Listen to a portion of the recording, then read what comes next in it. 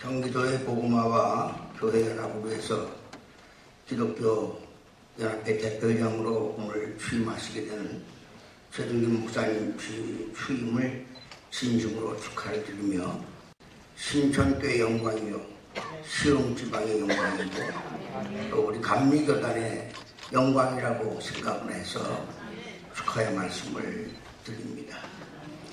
경기도 안에는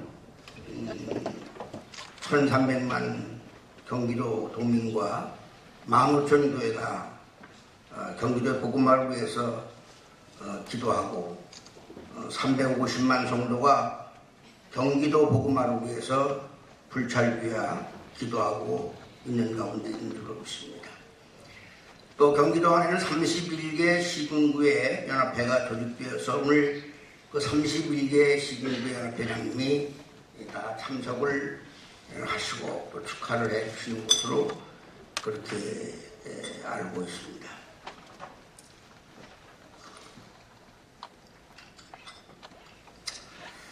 어, 지금으로부터 32년 전에 경기도청이 인천에 있었어요.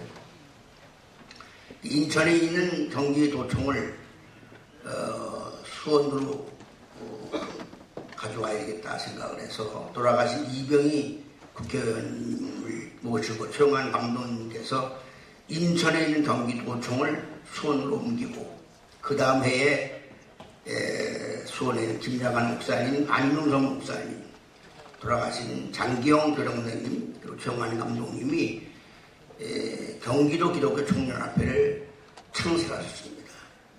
그때 김몽태 목사님 저 또 우리 최중희 목사님 같이 심부름하면서 어, 경기도 기독교 어, 청년합회가 출발하는 모습을 보고 31년이 지난 오늘의 아버님의 대를 이어서 또 경기도 해서 일할 수 있는 대표회장으로 선출된 것을 진심으로 축하를 드리는 바입니다.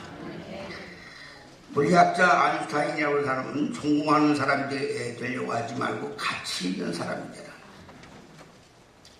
성공을 향해서 노력하는 자가 되지 말고 어느 곳에 있든지 그곳에서 가치 있는 사람이 되면 성공은 자동적으로 따라오는 것이다.